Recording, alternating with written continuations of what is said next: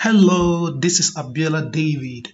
In this video tutorial, I'm going to show us how to look up values in VBA user form using the XLOOKUP function.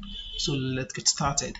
Now we have the sales records in our sales records sheet tab. Now if you look at the sample data, we have the order ID, date, customer name, product, unit sold price, shipping cost, and total.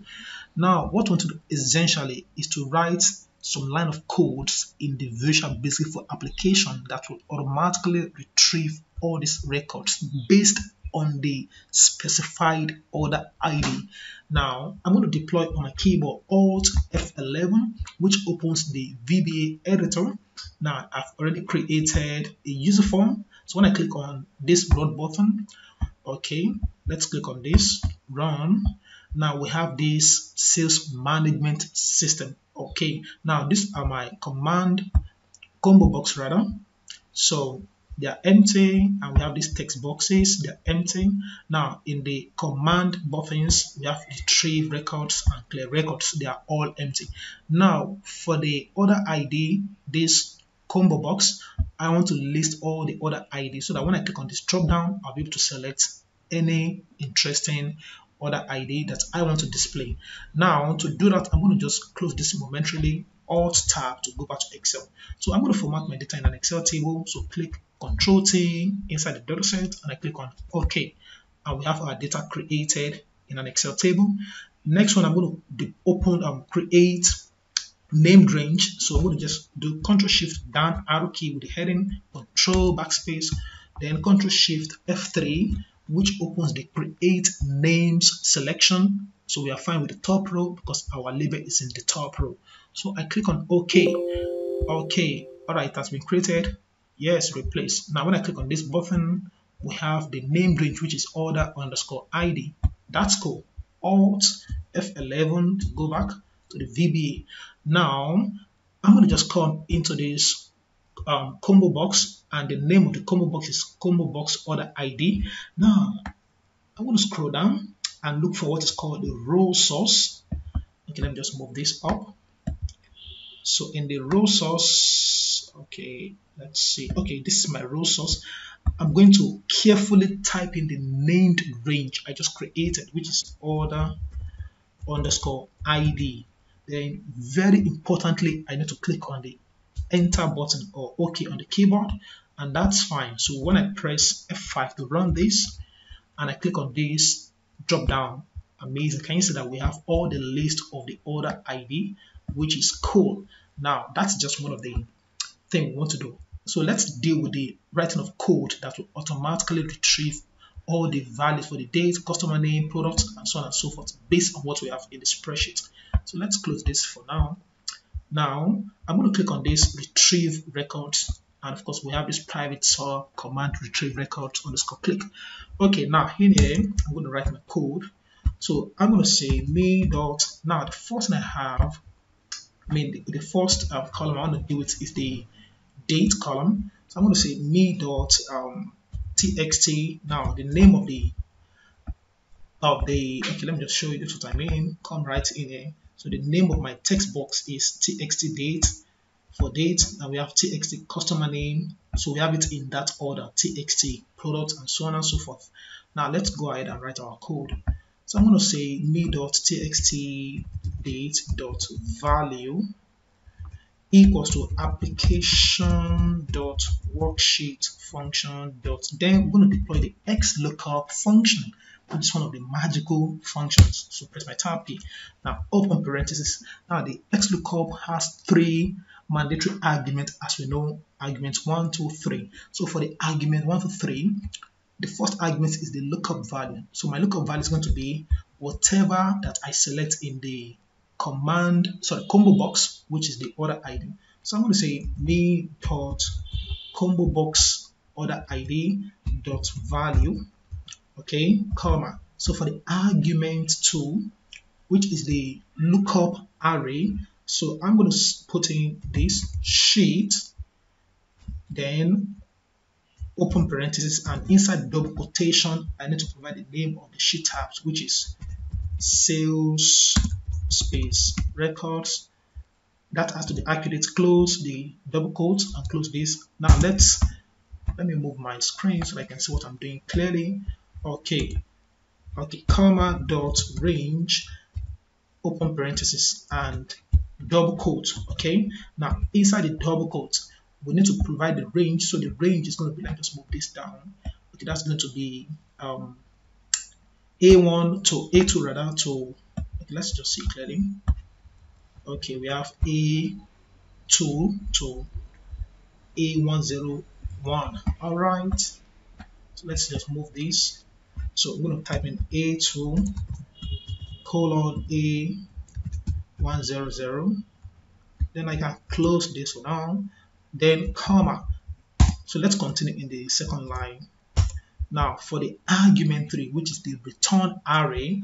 Now what do I want to return? I want to return the date which is in column B right? You have the date in column B.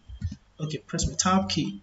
So I'm going to say again um, sheet open parenthesis then I need the name of the sheet. Okay um, double quote sales records and then I close close dot range and I open parenthesis double quote. Now inside the double quote what I want to return is going to be B2 colon B101 and I close that up and that is fine. So the fourth fifth and sixth argument of the XLOOKUP are optional. So I'm going to just close my um, XLOOKUP and that's fine. So let me just run this okay? Just only one on this. When I press F9 and let's select um, order ID now when I click on this retrieve record amazing. So that gives us 11th of February 2020 now let's see the number. Okay this is it. Can you see in row number 5 that is accurate. 11 12 2020 that's awesome. So I'm going to just close that and let's return to our code. So I'm going to just copy all this Control C, Control V. Let's paste as much as we need to. Okay, so I'm going to just doing, be doing some little editing. Copy this, Control C. I'm just paste in here so that we have an accurate number. Control V. Okay, now for this, I'm going to just um, quickly change this now this is going to be C2 to C101. Now I'm going to just speed this up and I'm going to see you in the next few seconds. Okay, welcome back. Okay, so these are all the codes we need to actually write that will do the magic for us. Now the first one is me.txt date.value and we put in our XLOOKUP and all the required input value for the argument. So the next one is going to be customer name, product, TXT unit sold, price, shipping cost, and total. Okay, so this is going to be column B, and this is handling for column C where we have the customer name, and this is handling for column D where we have the product, column E for unit sold, F for price, and shipping cost for G, finally column H that handles the total.